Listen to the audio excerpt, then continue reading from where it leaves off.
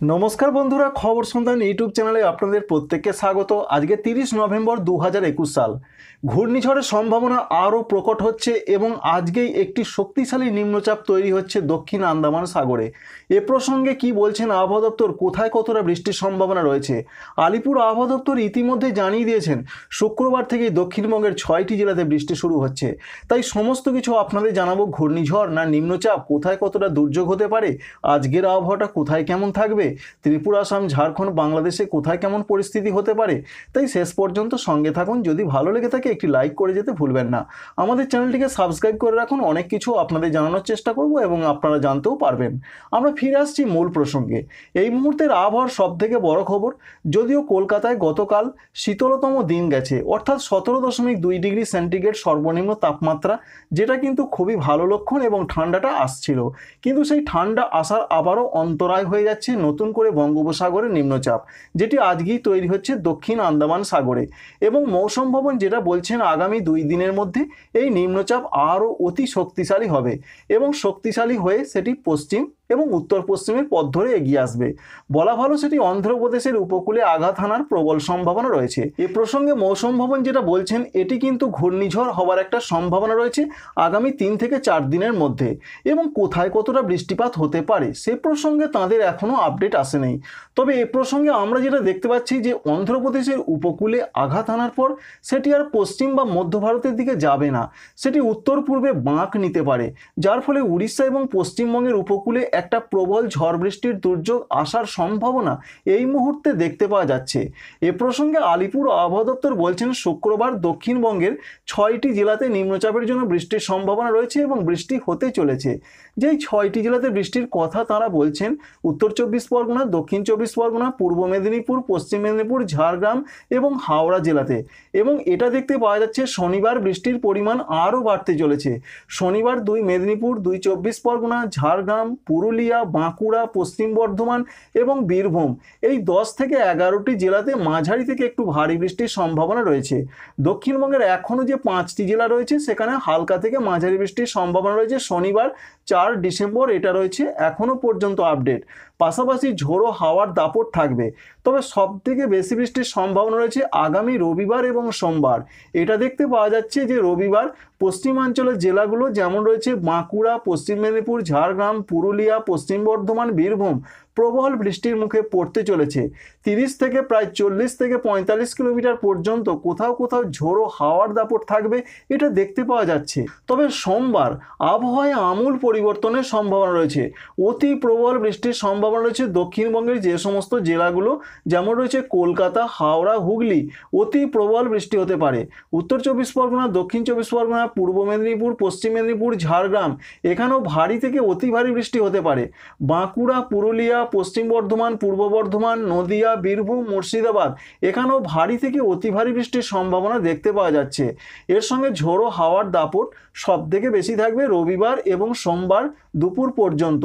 উপকূলের জায়গাগুলো যেমন রয়েছে মেদিনীপুর, চব্বিশ পরগনা, হাওড়া, এখানে প্রায় পঞ্চাশ থেকে পঞ্চান্ন কিলোমিটার গতিতে ঝোড়ো হাওয়া বইতে পারে।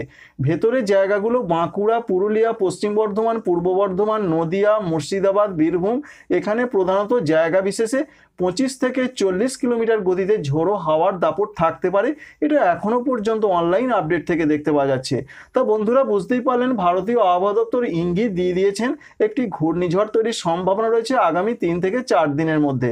তবে ঘূর্ণিঝড় যাওয়াদ আসছে, কতটা বৃষ্টি কোথায় হতে পারে সে প্রসঙ্গে তাদের এখনও আপডেট আসেনি। খুব শীঘ্রই আপডেট চলে আসবে এবং আমরা আপনাদের আরও বিস্তারিতভাবে জানানোর চেষ্টা করব। দক্ষিণবঙ্গের পাশাপাশি উত্তরবঙ্গে কেমন প্রভাব পড়তে পারে ঘূর্ণিঝড়ের? সেখান থেকে এটা মনে করা যাচ্ছে বা দেখতে পাওয়া যাচ্ছে। মালদা এবং দুই দিনাজপুরে ভারী বৃষ্টির সম্ভাবনা রয়েছে। প্রধানত রবিবার থেকে মঙ্গলবার সকালের মধ্যে অতি ভারী বৃষ্টি হতে পারে মালদা জেলাতে। দক্ষিণ দিনাজপুর, উত্তর দিনাজপুরে বিক্ষিপ্ত ভারী বৃষ্টির সম্ভাবনা রয়েছে। দার্জিলিং, কালিম্পং, জলপাইগুড়ি, কুচবিহার, আলিপুরদুয়ার এই পাঁচটি জেলাতে প্রধানত মাঝারি থেকে মাঝারি ভারী বিক্ষিপ্ত বৃষ্টির সম্ভাবনা রয়েছে। এই নিম্নচাপ বা ঘূর্ণিঝড়ের এফেক্ট হিসাবে। আজকে পশ্চিমবঙ্গের প্রত্যেকটা জেলা উত্তরবঙ্গ, দক্ষিণবঙ্গে কোথাও কোনো বৃষ্টির সম্ভাবনা নেই। শুকনো আবহাওয়া থাকবে রোজ্জল ঝলমলে আকাশ, তবে শুক্রবার থেকে কিন্তু আবহাওয়ার আমূল পরিবর্তন শুরু হবে। ঝাড়খণ্ডে যে আবহাওয়া থাকার সম্ভাবনা রয়েছে নিম্নচাপের জন্য, তাতে এটা দেখতে পাওয়া যাচ্ছে শনিবার থেকে জামশেদপুর, রাঁচিতে বৃষ্টি শুরু হয়ে যাবে। রবিবার থেকে ভারী থেকে অতি ভারী বৃষ্টি এবং সোমবার প্রচণ্ড বৃষ্টির সম্ভাবনা রয়েছে সমগ্র ঝাড়খণ্ডের, বিশেষ করে ধানবাদ, দেওঘর, দুমকা, জামশেদপুর, রাঁচি। এই এলাকাগুলোতে প্রবল বৃষ্টির সম্ভাবনা রয়েছে। চল্লিশ থেকে পঁয়তাল্লিশ কিলোমিটার বেগে ঝোড়ো হাওয়ারও দাপট থাকতে পারে। আসামের ক্ষেত্রে যে আপডেট রয়েছে, তাতে এটা দেখতে পাওয়া যাচ্ছে আসামে তিরিশ থেকে চল্লিশ কিলোমিটার বেগে ঝোড়ো হাওয়ার দাপট থাকতে পারে। রবিবার থেকে মঙ্গলবার দুপুর পর্যন্ত প্রধানত মাঝারি থেকে মাঝারি ভারী বৃষ্টির সম্ভাবনা রয়েছে। কিছু কিছু জায়গায় ভারী বৃষ্টিপাত হতে পারে, যেমন রয়েছে শিলচর, গুয়াহাটি, এখানে প্রচণ্ড বৃষ্টিপাতের সম্ভাবনা রয়েছে। এছাড়া ত্রিপুরার ক্ষেত্রে যে আপডেট রয়েছে নিম্নচাপের জন্য, তাতে দেখতে পাওয়া যাচ্ছে এটাই। প্রধানত রবিবার রাত থেকে মঙ্গলবার দুপুর পর্যন্ত এই টাইমের মধ্যে প্রচণ্ড বৃষ্টির সম্ভাবনা রয়েছে।